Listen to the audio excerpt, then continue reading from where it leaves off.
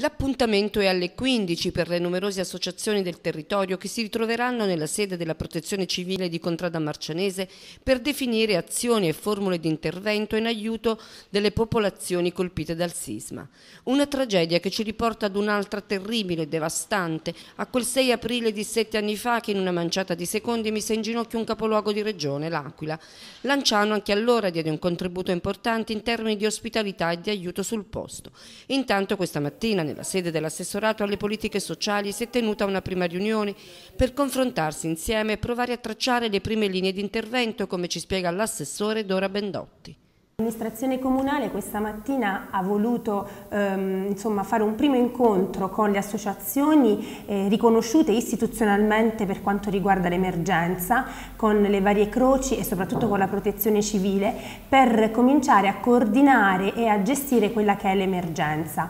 Chiaramente ehm, la, la, città di Lanciano è una città molto sensibile e attenta a queste tematiche, quindi la voglia di fare del bene, di aiutare, di dare un segno di solidarietà è forte e tanta, ma a volte si rischia anche di ehm, creare confusione e di essere approssimativi. Quindi la riunione di oggi è stata proprio un, un primo inizio, un contatto con le istituzioni per, per poter organizzare e progettare un intervento. Eh, abbiamo pensato, l'amministrazione comunale è stata chiara su questo, vorrebbe fare un progetto a lungo, a lungo termine, soprattutto quando si spegneranno i riflettori sulla, su questa tragedia, quando comunque resterà solo il silenzio, la solitudine e forse anche l'indifferenza. Quindi Lanciano vuole essere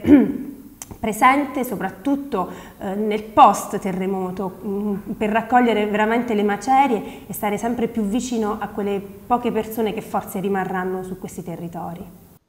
La città dunque è pronta a mobilitarsi e l'amministrazione a fare la propria parte, soprattutto, come ha precisato la Bentotti, con un intervento che non si esaurisca in pochi giorni. Si sta infatti promuovendo la raccolta di materiale ludico e didattico da destinare a un centro che dovrebbe essere attrezzato proprio per i più piccoli e si sta procedendo anche all'attivazione di un conto corrente. Ma questo non è l'unico gravoso impegno per l'assessore alle prese anche con un'altra delicata situazione, l'arrivo dei 13 giovani richiedenti asilo.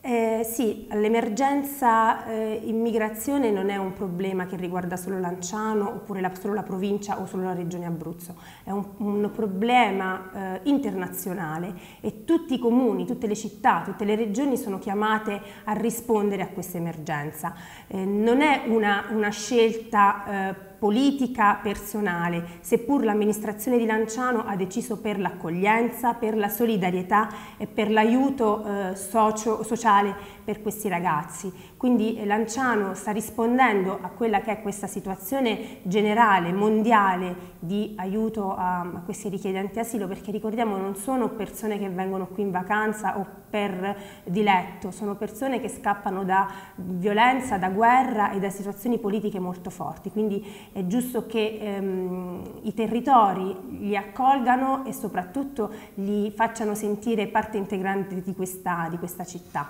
Il comune di Lanciano, ehm, io personalmente già mi sono recata presso il centro di accoglienza mh, in Villa Elce al momento sono 13 ragazzi che vanno dai 19 ai 24 anni, quindi ragazzi molto giovani. Ehm, abbiamo già cominciato una rete di eh, rapporti e di relazioni con la cooperativa che gestisce questo centro. La settimana prossima ci sarà un incontro ufficiale, istituzionale, per cominciare a progettare e, e a programmare quelle che saranno le attività e la collaborazione che appunto tra l'amministrazione e questa cooperativa può insomma, mh, mm, crearsi. Questi ragazzi verranno ehm, inseriti anche in attività eh, lavorative e voglio precisare che non sarà il comune a pagare questi ragazzi perché poi si, si dicono tante cose, tante false notizie e, e, e, si creano allarmismi anche a volte sterili. E, ehm, questi ragazzi percep non percepiranno un'indennità un ma usufruiranno di, semplicemente di un'assicurazione